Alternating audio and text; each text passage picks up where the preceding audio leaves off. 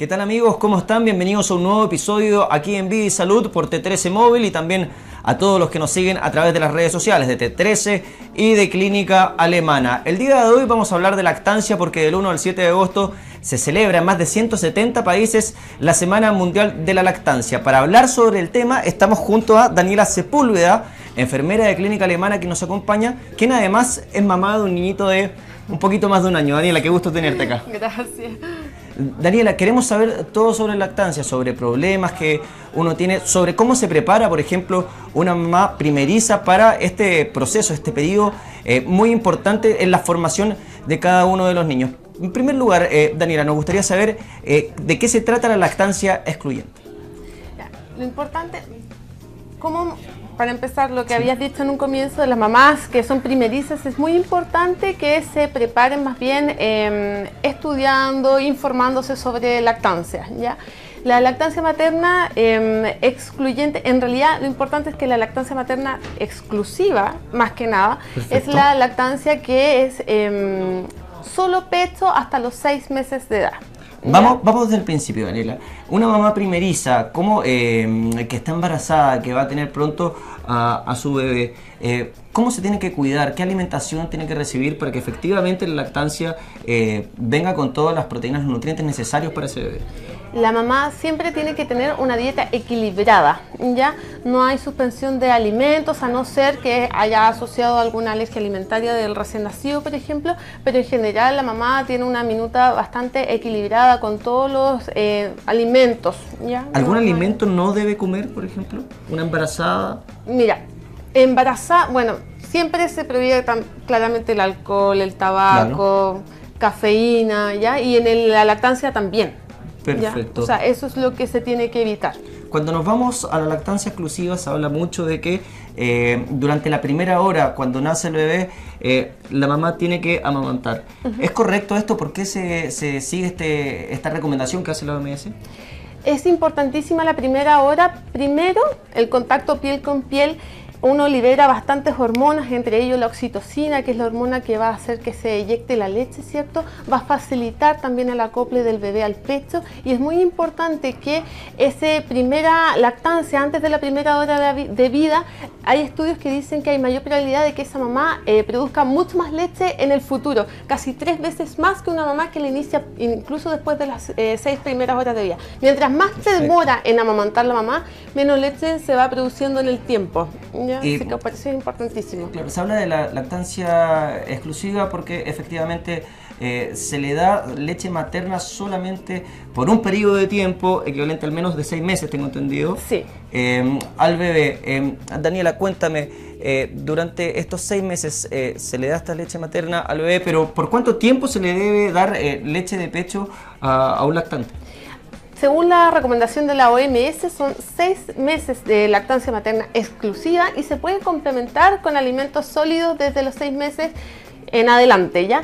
Y eh, la idea es que eh, sigan más allá de los seis meses, o sea, ojalá hasta los dos años y más si es que es posible. Ya esa es como la recomendación de la Organización Mundial de la Salud. ¿Y el chupete es recomendado o no es recomendado bajo esta régimen? El chupete que uno lo usa SOS en caso de que el niño esté muy irritable se pudiese recomendar desde el primer mes de vida hay estudios que dicen que disminuiría como el riesgo de muerte súbita en los lactantes, sin embargo, sobre todo el primer mes entorpecería en el, en el tema de la copla del pecho, así que no se los recomiendo la verdad. El uso de biberones ni tetinas está recomendado para la lactancia. A través de redes sociales nos empiezan a llegar un par de preguntas y es eh, Pamela que nos, nos, nos pide alguna recomendación sobre alguna vitamina para consumir en el periodo de lactancia. No, alimentación eh, normal, o sea, todos los nutrientes que tienen sus alimentos, una alimentación bastante equilibrada, eso es lo único que necesitas. La lactancia materna, esto pregunta mito verdad, la lactancia materna eh, sirve para eh, evitar el cáncer de mamas, el cáncer de ovario. Hay estudios que eh, demuestran que disminuye la probabilidad de que la mamá tenga cáncer de mama y cáncer de ovario, así que es verdad. Daniela, cuéntanos un poco más sobre la lactancia materna. Queremos saber, eh, por ejemplo, aquellas mamás que eh, resultan ser, eh, o, el bebé, mejor dicho, rechaza por alguna alergia la, leche materna por, alguna proteína. etcétera. Eh, bajo esta lógica, el bebé tiene que consumir la, leche materna, pero se le hace una recomendación a la mamá también a consumir cierto tipo de alimentos. ¿Cómo se trabaja esto? Es importante que em, si el bebé tiene alergia alimentaria, alergia a la proteína leche de vaca, no significa que la mamá tenga que suspender la lactancia. Sin embargo, es importante consultar a un especialista, puede ser un gastroenterólogo infantil, eh, el que le hace una pauta de alimentación a la mamá y de acuerdo a eso se van eliminando eh, alimentos, empiezan por los lácteos y así sucesivamente hasta encontrar el bienestar del bebé. Pero se hace todo con exámenes y con un especialista que sería un gastroenterólogo infantil sobre los exámenes que tú hablas, ¿es recomendable que la mamá se haga el examen antes de tener al bebé o durante el periodo no. Mira, las alergias alimentarias en general se ven eh, cuando el bebé ya está, eh, ya está con nosotros en el fondo y después del mes de vida inclusive. Eh, y se va viendo en cada caso. por ejemplo, hay mamás que tienen hijos hijos anteriores eh, y tiene antecedentes de alergia alimentaria, no es necesario que haga la dieta posteriormente, no hay estudios que demuestren que sirva en el fondo. ¿ya? Eh, sí hay algunas que toman la decisión de eliminar los lácteos de, de, antemano, pero no es una recomendación así como para todas las madres. Sobre todo, usted es un consejo para las mamás primerizas. Algunas dicen, quizás vamos a programar el horario en que vamos a darle eh, pecho a nuestros hijos.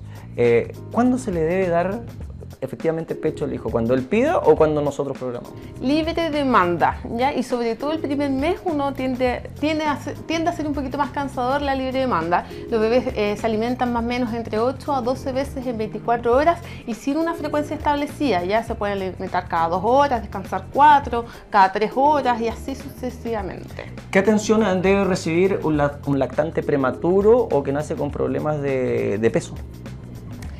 Depende de cuán prematuro y cuán problema de peso tenga, pero en general el principal cuidado que tiene que tener es em, vigilar siempre que la succión sea lo más efectiva posible al pecho, que la mamá sienta de que el niño está aliviando el pecho eh, con la succión, ¿ya? Em, que el bebé esté eliminando al menos seis pañales en 24 horas con pipí, caquita fluida amarilla eh, todos los días, así uno como que se va asegurando de la alimentación. Ahora, un niño de 35 semanas, no sé, un peso más, más de 2, 2 eh, kilos, podría alimentarse solo de lactancia materna exclusiva pero hay casos con los prematuros eh, extremos que sí requieren eh, apoyo. Ya se evalúa caso a caso. Estamos junto a la enfermera de clínica alemana Daniela Sepúlveda en este espacio Vida y Salud por T13 Móvil a través de las redes sociales de T13 y también de clínica alemana. Daniela, son muchos los comentarios que llegan en redes sociales y por ejemplo Alejandra Figueroa nos pregunta ¿hasta qué eh, mes se da pecho de libre demanda? Es súper opcional eh, el primer mes se habla mucho de la libre demanda, pero depende también del bebé. En general los bebés piden, se hacen horarios, la verdad, solo a través del tiempo. Ya no, no es como que yo te recomiendo a los dos meses hacer un horario en el bebé, no, no necesariamente. Ya mientras esté creciendo bien el bebé y se ve en los controles del pediatra, está todo bien. Claudia Andrea Díaz nos dice, hola, eh, soy de Antofagasta yo doy pecho a mi bebé de cuatro meses. Consulta, mi bebé solamente toma pecho. ¿Qué tan necesario es darle relleno? Si está subiendo bien de peso y está quedando faciado, la verdad es que no es necesario darle relleno. Siempre vean bien la curva de crecimiento eh, según el control con el pediatra y si está todo bien, no es necesario darle relleno sobre eh, la lactancia, el pecho. Eh, muchas mamás nos comentaron también cuando eh, dijimos que íbamos a hacer este tema sobre la posición en que hay que darle efectivamente pecho a, la guagua, al, lactante. ¿Cuál es la posición recomendada para darle efectivamente un pecho efectivo a un una guagua? Mira, son muchas posiciones de amamantamiento. La verdad es que por ejemplo, en la que la mamá se sienta más cómoda. Si tengo un niño que tiene, por ejemplo, reflujo, a lo mejor una donde esté más sentadito va a ser la mejor.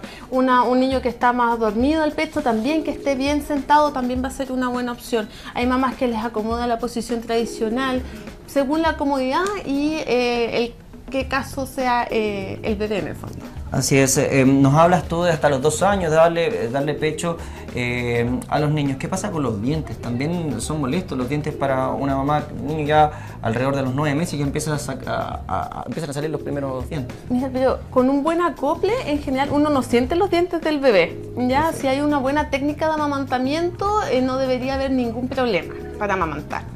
Perfecto, recordemos que estamos desde el 1 al 7 de agosto, es la semana de la lactancia materna. Por lo mismo estamos hablando con eh, Daniela Sepúlveda, enfermera de Clínica Alemana, aclarando todas las dudas en este espacio en Vida y Salud. Daniela, en la clínica en general, eh, ¿cuáles son las principales dudas o consejos que ustedes les dan a, las mamás que llegan eh, sobre todo a preguntar sobre el tema de la lactancia? Bueno, en Clínica Alemana en general eh, lo que recomendamos a las mamás es informarse, em, tener mucha paciencia em, y eso más que nada pueden acudir con nosotros. Nosotros en Clínica Alemana tenemos una clínica de lactancia donde podemos ayudar a todas las mamás con temas después del parto, como eh, posición de amamantamiento, si es que presentan dolor, si es que presentan congestión mamaria, todos los problemas de lactancia que eh, tengan o si tienen dudas, quieren resolver dudas, nosotros en la enfermedad clínica de lactancia podemos responderlas en una consulta individual.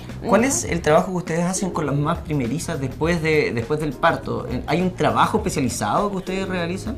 En general nosotros vemos a todas las mamás, no solo las primerizas, sino que a todas las mamás que puedan tener problemas de amamantamiento o que quieran resolver dudas durante la hospitalización y en la parte ambulatoria. Así es. Mira, estamos leyendo distintos comentarios. Michelle nos dice... Eh, hola, soy Elizabeth, no era Michelle quien escribía. Mi hija tiene 10 meses, es bueno seguir dándole eh, pecho. Eh, efectivamente, las preguntas, bueno, lo está respondiendo eh, Daniela. Eh, este espacio es Vida y Salud. Entonces, recalquemos, porque algunas preguntas ya se empiezan a repetir, recalquemos algunas claves que hemos hablado en este espacio Vida y Salud.